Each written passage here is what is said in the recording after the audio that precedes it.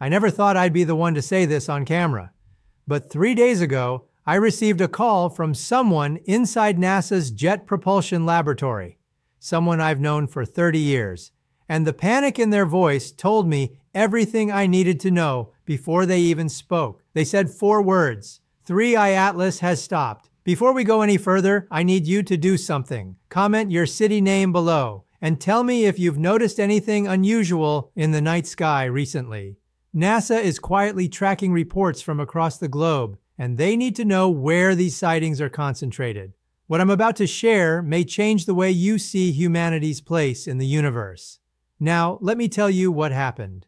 For those unfamiliar, 3I Atlas is an interstellar object, a visitor from beyond our solar system. It was first detected in December of 2019 by the Atlas Survey System in Hawaii. At the time, astronomers celebrated it as only the second known interstellar object ever observed following the mysterious Oumuamua just two years prior. We cataloged it. We measured its velocity. We tracked its trajectory as it hurtled through our cosmic neighborhood at over 100,000 miles per hour. And then, like Oumuamua before it, we watched it leave. Except it didn't leave. What I'm about to tell you has not been publicly disclosed. It contradicts every official report you'll find in the astronomical databases, because while the world was told that 3I Atlas exited our solar system in early 2020, Continuing its journey into the void, it didn't. Instead, at a distance just beyond the orbit of Neptune, approximately 4.5 billion kilometers from the Sun, the object decelerated, not gradually, as if caught by gravitational influence, but instantaneously. One moment traveling at relativistic speed, the next nearly motionless in the freezing darkness of the outer solar system. And it has been there ever since, for almost five years, a select group of scientists, astrophysicists, cosmologists, engineers from NASA, the European Space Agency, and even undisclosed military consultants have been monitoring this object in complete silence. I was brought into the loop 18 months ago after submitting a theoretical paper on non gravitational propulsion systems. They needed someone who could think beyond the boundaries of conventional physics someone willing to consider the impossible. Because 3I Atlas is not a comet. It's not an asteroid. It's not a natural object at all. It's a probe. I know how that sounds. Believe me, I do. I've spent my entire career championing the search for extraterrestrial intelligence, exploring the mathematical likelihood of alien civilizations, theorizing about warp drives and wormholes and the technological signatures of Type 2 and Type 3 civilizations on the Kardashev scale. But this, this is different. This isn't theory. This isn't speculation whispered in the halls of conferences or debated in the pages of academic journals. This is real. The evidence is overwhelming. First, there's the composition. Spectroscopic analysis revealed that 3I Atlas is encased in a shell of material that doesn't correspond to any known mineral or molecular structure found naturally in our solar system or in any meteorite we've ever studied. The surface reflects light in a way that suggests microlayering, almost like engineered plating. Then there's the geometry. High resolution imaging, taken by instruments I'm not authorized to name, showed that beneath the ice and dust, the object has edges, straight lines, symmetry.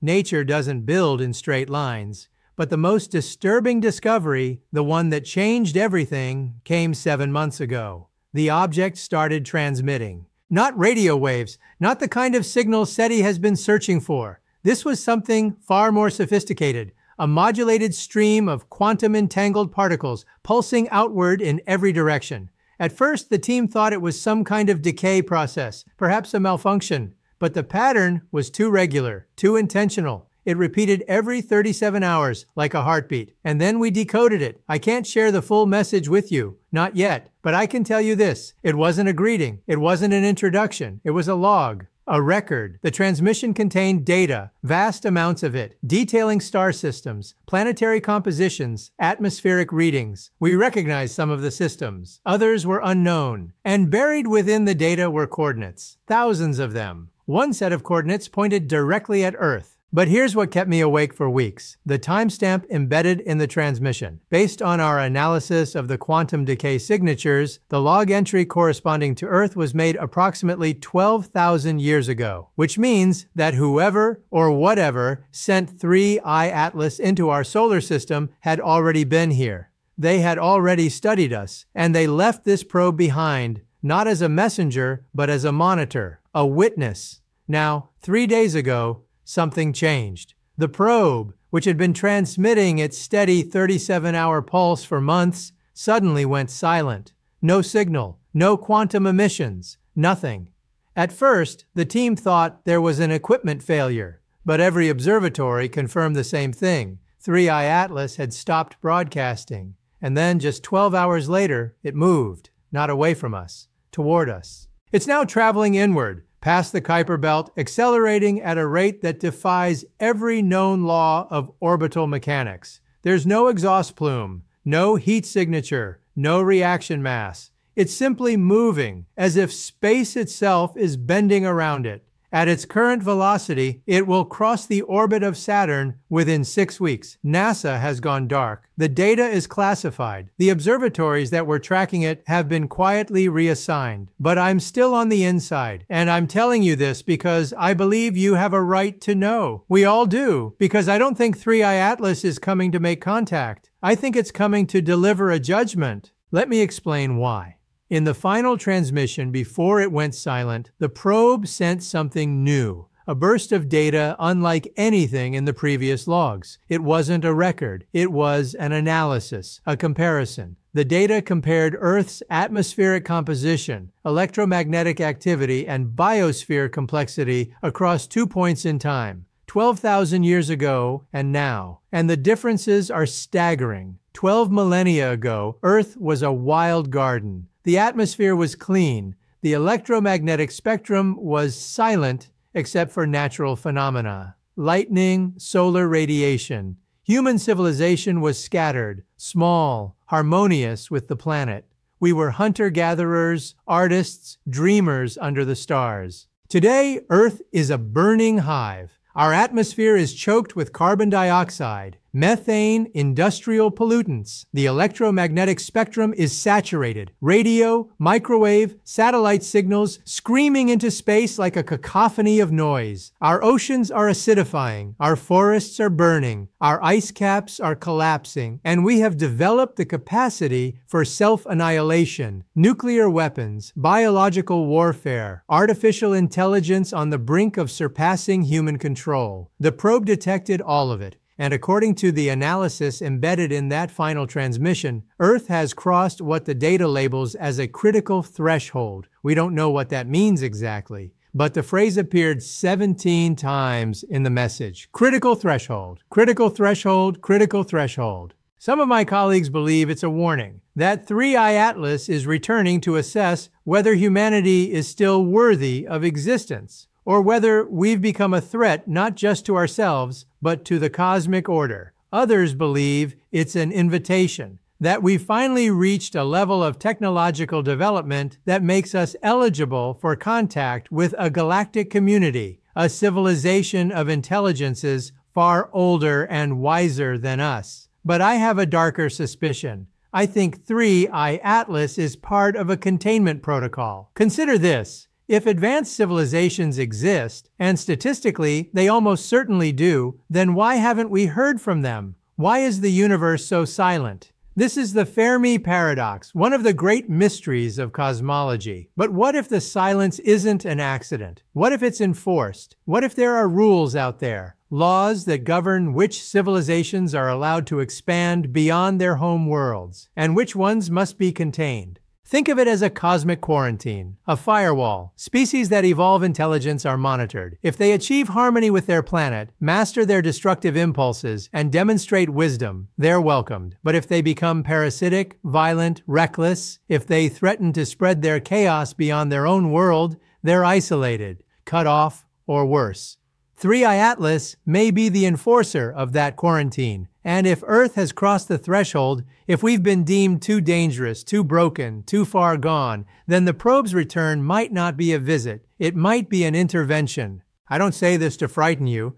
I say it because we need to confront the reality of what we've become. For all our brilliance, our art, our science, our capacity for love, we are also a species at war with itself and with the planet that sustains us. We've built weapons capable of ending all life on Earth in an afternoon. We've created machines that could one day replace us. We've poisoned the air, the water, the soil, and something out there has been watching.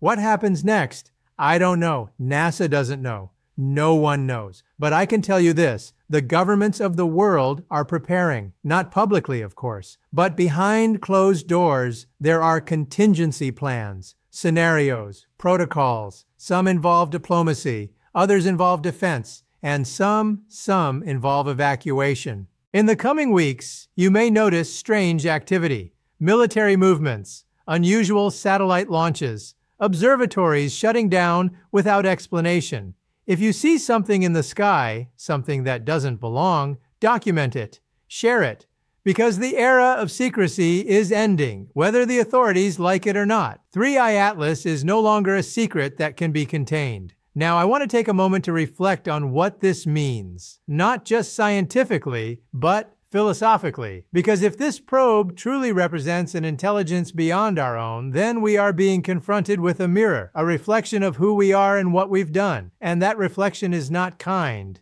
For so long, we've imagined that first contact would be triumphant, that we'd greet our cosmic neighbors as equals, sharing knowledge, culture, hope.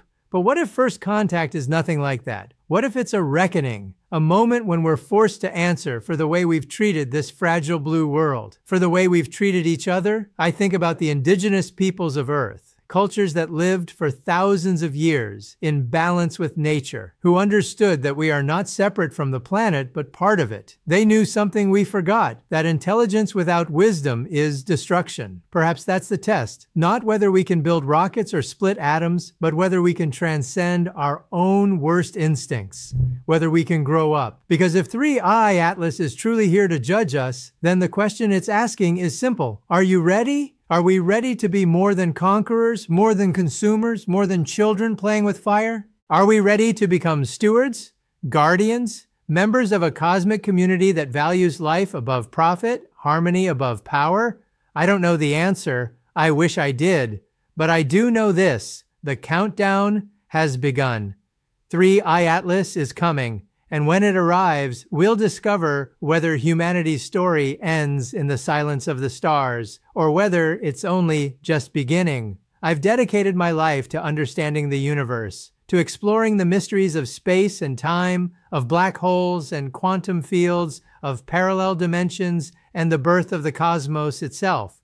But nothing in my education prepared me for this. Nothing could have, because this isn't just a scientific event. It's a spiritual one, an existential one. We are being visited not by gods, but by something perhaps even more profound, by the universe itself, looking back at us, measuring our worth, deciding our fate. And the only question that matters now is, what will it see when it looks into our eyes? Follow this channel as we continue decoding the universe's final warnings. In the weeks ahead, I'll be sharing more things I've been told to keep silent, things that demand to be spoken. Because if this is truly the end of one chapter and the beginning of another, then we must face it together with open eyes and courageous hearts.